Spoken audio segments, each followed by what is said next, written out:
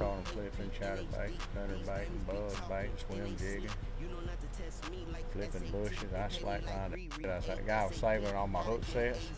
He built his ringtone for that. On his phone, it's just like quack, quack, quack. Like, hell, this is perfect.